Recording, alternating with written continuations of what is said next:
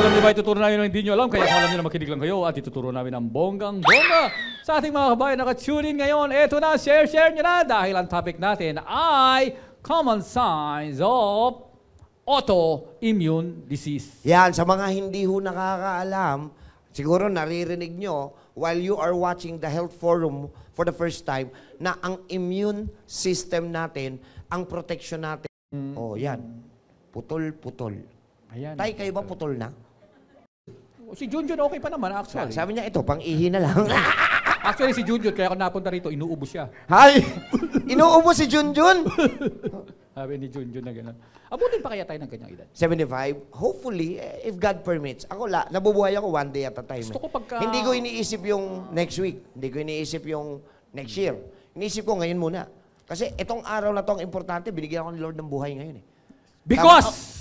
Aray ko, bakit? Tama. This is the day. Di ba? Nakinabahan ka. hindi ka naaabot ng 75 doll. Nakikita ko. Kailangan pala, hindi na ano, bigla-bigla. Kailangan pala mga approach sa'yo. Doc. Doc? Gugulat. Game! Bulaga. Dawal pala ganon. Busit ka. Oh, balik na tayo. Oh, Sige, sa ating alam nyo ba, ang topic natin ay mga Different kinds. Ah, at saka, common signs. Common signs. Muna, para malaman nyo na may iba't ibang sakit ang immune system. Ang autoimmune diseases, ay nangyayari kapag hindi ma-differentiate ng natural defense ng katawan ang kanyang sariling cells Yun. at foreign cells Yun. na nagiging dahilan ng pagkakamali nito na sirain ang mga normal cells. yun! Mer- merong walumpu na iba't ibang sakit. Uri ha, 80 ng autoimmune disease. So, anong ibig sabihin? Si immune system ay isang ah, mga cells din sila. Okay. Na kapag may pumasok na foreign, foreign. So, hindi sila part ng katawan natin. Foreign nga eh. Aha. At hindi rin sila food. Kumbaga- So, hindi kailangan ng katawan, babanatan nila yan. Ah, di ba, di ba kinukwento ko nga, yung sa COVID-19? Yes, oo. Kung malakas ang immune system mo, malakas siya. No. Pumasok yung virus Okay. na si COVID-19. Isang upper, ay, ikaw pala si COVID. Hmm. Wala siya magagawang ah, perwisyo Sa sa, katawan. katawan. dahil yung immune system mo ang nag-protection sa'yo. Oh. Ngayon, bakit hindi kayo pinayagan lumabas nung panahon ng lockdown? Kasi may mga comorbidities. Anong ibig sabihin ng comorbidities? Lagi nyo naririnig sa mga news yun, pero hindi naman naiintindihan. Ang comorbidities, meron kayong existing na sakit. Meron kayong dating sakit. Ikaw ay dating, ikaw ay may high blood, ikaw may diabetes, Oh, ikaw may sakit sa puso. Mhm, Ibig sabihin, may sakit ka may na. asthma. Which means, anong ibig sabihin nun? Mahina na ang immune system mo kasi kinapitan ka na ng sakit. So pag lumabas ka at pumasok yung virus, wala kang protection. Ayun. Patay ka doon. Naintindihan niyo? Naintindihan Ikaw nga na nila. lang. Hmm, Wala na naman tayo kausap. so, yun po yung ah, ginagawa ni immune system. Kailangan regulated siya. Regulated. Paano siya magiging regulated? Gusto niyo marinig? Paano magiging super, ah, hindi super active, regulated. Tama yung active. Simple-simple lang. Follow the seven doctors. Follow the seven. Libre, walang bayad. Number one, doctor, Dr. Sunshine. air. Dr. Water. Doctor exercise. Doctor diet. Doctor sleep. Doctor energy. Lahat yung libre, oh. Inhale, exhale every morning to keep your lungs and heart na healthy. Tama? Doctor water. Bakit naliligo ka nga panlabas ng katawan mo? Paliguan mo rin yung loob. Tama? Tama. Doctor sunshine. Para makakuha tayo ng vitamin D. Natural vitamin D. Okay, doctors exercise para pawisan tayo, detoxification process of the integumentary system. Dr. Doctor diet, nutritional program inside the body na binigyan namin kayo ng nutritional guidelines. Tama? Doctor sleep, kailangan tulog ng 10 to 4 to repair the cells. And Doctor energy, positive thinking para yung mind mo utusan ng buong katawan mo na mag-function properly. Ayan. Perfect yun. Seven. Tama? Nagagawa niyo ba? Ngayon na lang. Sabi ng iba, "Ah, hindi masyado. Ano yan? Okay, ngayon, ito po ang iba't ibang uri ng mga sakit na naririnig nyo na. Pero hindi nyo alam na itong sakit na to ay immune system na sakit. Hindi bagsak yung immune system, pero siya yung nag-cause ng sakit. Game. Number okay, one. number one, RA or rheumatoid arthritis. Bakit? Isang uri ng arthritis na inaatake ang joints. Yon, rheumatoid. Ibig sabihin ng pag, pag ang sakit mo rheumatoid, usually steroids, di ba? Pero ang rheumatoid arthritis ay, yun, immune system problem yan. Masyado siyang active. Siya yung umaatake kay joints. Nako. Malinaw ha? Number two, at two, To. Psoriasis. psoriasis or psoriasis. Isang kondisyon kung saan makikita ang pag paano, pangangapal at pagiging scaly ng balat. Usually, nagsisimula yan dito. Okay, pakinggan nyo maigi. Ano ang psoriasis? Ang ating skin cells, Skin cells. dapat po 120 days bago magpalit. Nagpapalit tayo. Akala nyo, ahas lang? Hindi lang natin kikita, hindi natin ramdam. Pagka po active ang immune system mo, hyperactive, times 10, 10 times faster siya nagpapalit ng balat. So dapat 120 days magpapalit ng balat. Pero dahil immune system problem to, akala niya magpapalit na ng balat. Hindi pa. Every 12 days nagpapalit siya, kaya nagpapatong-patong yung balat, Patong-patong. nagiging scaly. Ayun. May natututunan ba kayo? Oo, kaya pala. Galing. Ayun ang psoriasis. Next. Okay. Psoriatic arthritis. Ano naman ibig sabihin yan? Isang uri ng arthritis na ang tinatamaan ay ang mga tao na may psoriasis. Ayun. So, pinagsama po yung arthritis at psoriasis. Doble. Naku, nagkakaliskis ka na, tumasakit pa yung mga joints mo. Kawawa naman. Next.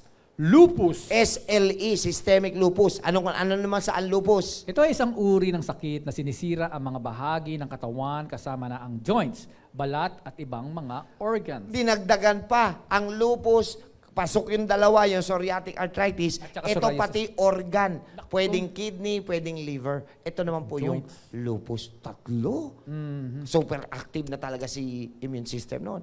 Number five, Five, thyroid disease na kinabibilangan ng Graves disease kung saan ang katawan ay gumagawa ng maraming thyroid hormones. yan, or hyperthyroidism. Okay? Samantalang ang Hashimoto's thyroiditis naman ay kulang ang pinoproduce na hormone Kung tawagin ay hypothyroidism. So, ang thyroid pala, kailangan regulated ang paggawa niya ng hormone. Hmm. Kailangan tamang dami lang. Pag sumobra sa dami, hyper. Sobra. Sobra. Hyper nga eh. Pag kinulang sa dami, hypo. Kulang. Naintindihan? Kaya ang mga diabetiko, hyper ang glucose nila. Pag bagsak ang sugar nila sa level, hypoglycemia. So yun yung pagkakaiba ng hyper at saka ng hypo. Malinaw? May hypertension, mataas ang presyon. Tama. May hypotension, bagsak naman, low blood. low blood. Hypertension, high blood.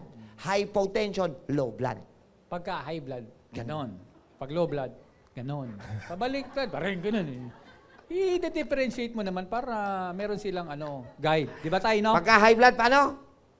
Yan. Pagka High low eh, blood? high. Oh, ha- Oh, high. high. Pagka- Pagka low? Alright. May natutunan ako sa iyo. Siyempre. Iba- Tay, di ba? Oh, Sabi, sabi ni tayo, high blood ako lagi, tol. Eh.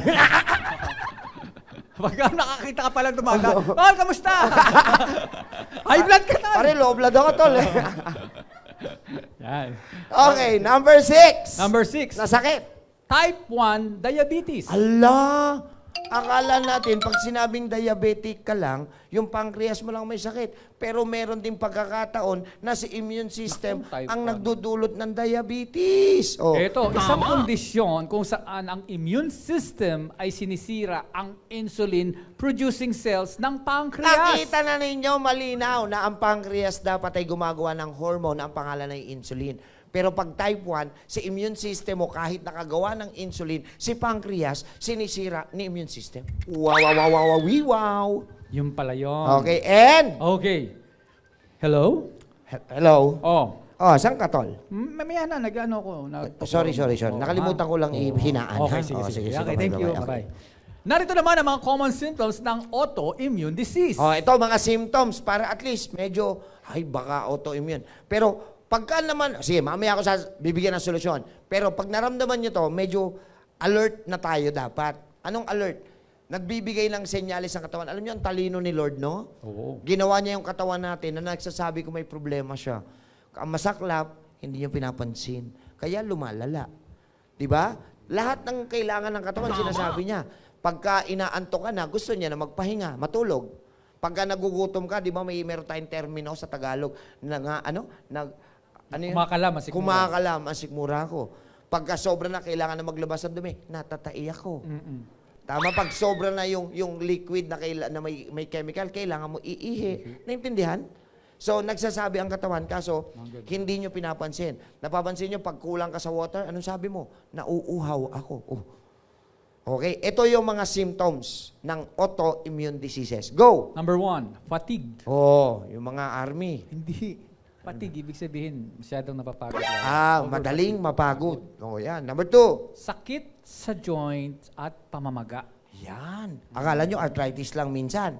Eh, paano kung rheumatoid Mga arthritis? ano na to, inflammation sa Yan, at saka namamaga na siya. Next. Alright. Skin problems. Yan, katulad nyo sa psoriasis. Hindi ho basta, skin, naku, baka meron ako. I-check, papacheck. Science to para magpacheck. Number four, Abdominal pain or digestive issues. parang ikaw ay hindi na natutunawan. Ah. Tapos may masakit na sa'yo. Next. Mm. Ito, pinaka-importante ito, number five. Pabalik-balik na lagnat. Yan. Bakit pabalik-balik ang lagnat? Senyalis siya ng katawan na, meron, na gumagawa siya ng heat to kill, to kill infection. Okay? Yun ang trabaho ng lagnat eh. Kailangan niyang gumawa ng apoy sa loob ng katawan, high temperature, to kill bacteria inside. So, ang lagnat ay hindi sakit. It is a response of the immune system. Pero kung pabalik-balik siya, ibig sabihin, hindi niya napapatay, si immune system na may problema. Oh, next! And then number six, ito yung swollen glands. Yan, sa thyroid yan, pinag-uusapan. Kaya hindi makapag-produce ng tamang dami ng hormones. Oo. Okay? Kaya yung itong sinasabi natin na autoimmune disease, ito nga yung nasabi mo na mga sundalo, na mga cells. Yun! Okay, sila yung lumalaban. Pero, dahil yung cells nyo abnormal, parang meron siyang Alzheimer's. Yan. Hindi niya nakikilala, yung cells na ina-atake niya ay normal cells. You, May foreign galing. object. May normal cells. Di binanatan niya to. Patay, Kita pati niya. yung kapaka niya sundalo. Buddy, sino ka? Yun! Prrr, lahat na, lahat na. Paano yung So, putukan? Paano yung putukan? Oh. Wow. kabum, kabum, boom. Oh.